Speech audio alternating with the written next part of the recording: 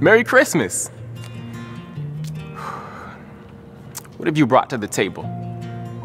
I don't mean a box of chocolates or some squash and potatoes. I'm talking grief, stress, and struggles, all that's awkward and painful. Because I'm going to tell you about a God who's so awesome and faithfully authored himself into our struggle, and it starts with a stable. See, this is God taking human flesh. You'd assume he'd choose the best accommodations, ancient version of the Grand Budapest. But at the local inn, not a room was left. So the father looks upon a filthy barn, and his response to it? Yes, it's perfect. It's not the answer you'd expect. But Christ is not a king who is afraid to step into the mess. He'd sooner choose to stoop into the gruesome truth of humanness. And we hear this story every year of how the Son of Man arrived. Make our Christmas scenes with figurines, we sing songs, the candles shine, but at the time, it was riots, violent tyrants, infanticide, and Roman occupation, so let us not romanticize. God's people were scandalized, tired, and exhausted, praying for their awaited Messiah to take up office, relying on the prophets or the latest town gossip of this favored man with blade in hand who'd make Israel great again.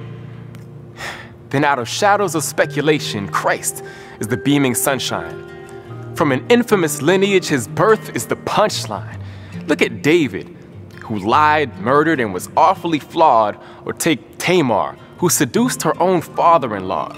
A hot mess, but not awkward to God, not blocking the promised adoption into the grace that He offers us all. So if you're lonely and desperate, in this cold, disconnected, COVID infected globe, hoping for respite, rest assured you're not alone, it's collective. And this is the home He's selected. He's chosen and blessed.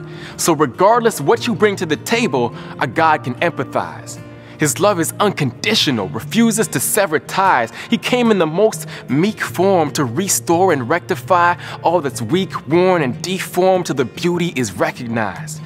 So let all the living praise the one whose name makes the dead arise, who dwells among the poor with no agenda to gentrify, who rules the universe from Genesis to the end of time. We testify the Blessed One descended a helpless child so that we could bring our mess to his table.